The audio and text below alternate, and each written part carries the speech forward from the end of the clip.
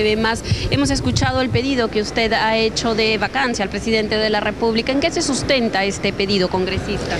La Constitución dice que una de las causales de vacancia del presidente de la República es su incapacidad moral constante y eso lo define el Congreso. Acá lo que estamos viendo nosotros es que a pesar de que el pueblo peruano le dio el encargo de gobernar al país a Ollantumala, él permite constantemente que la que quien dirija los destinos del país sea Nadine Heredia. Y esto es inmoral. No solamente es un hecho inmoral quien comete actos delictivos o de corrupción, es inmoral quien permite la usurpación del poder. Y Nadine Heredia constantemente está usurpando el poder, tanto los ministros, del premier y del presidente. Esto es grave. Lo que pasa que como constantemente vemos que eh, ya se ha hecho costumbre que ella usurpe el poder, lo vemos como algo normal. Y esto no es normal, es sumamente grave. ¿O acaso el dañar la institución presidencial, el dañar la, imagen de la institución de los ministerios es algo común y corriente que se ve en, algún otro país.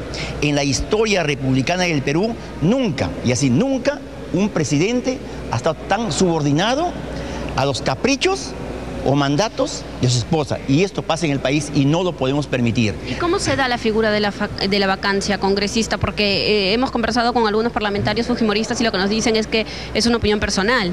Entonces, ¿cómo es que se podría concretar este pedido que usted hace? Yo le estoy planteando eh, también en la próxima reunión que tenga mi bancada lo voy a plantear para que eh, obviamente de aprobarse ya no sea solamente un pedido de Héctor Becerril, espero finalmente que, que sea avalado por la bancada y luego de allí eh, veremos los caminos necesarios para traer esto al Congreso de la República. ¿Usted ha conversado ya con alguno de sus colegas? No, esta posición es a título personal, como digo, evaluando la Constitución y evaluando el accionar constante de Nadine Heredia. Ahora, la bancada de Gana Perú acaba de dar una conferencia de prensa y lo que ellos han mencionado es eh, que ya conocen eh, el sentido golpista de la bancada fujimorista y los han acusado pues de una serie de cosas con el objetivo de, de traerse abajo al gobierno prácticamente.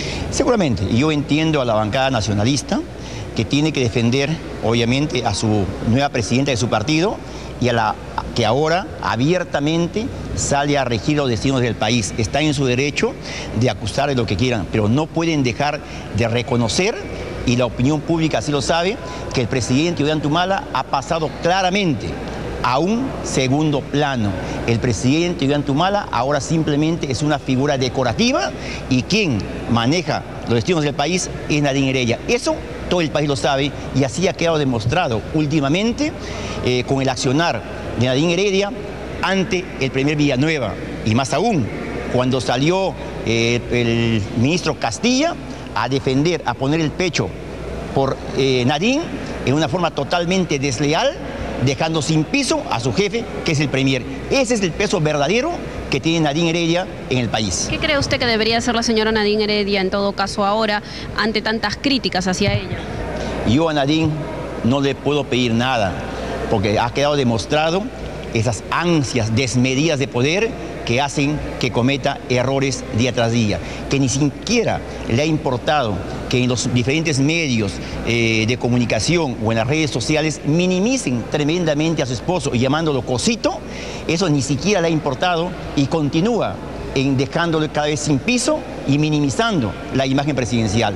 Eso, como digo, es sumamente grave.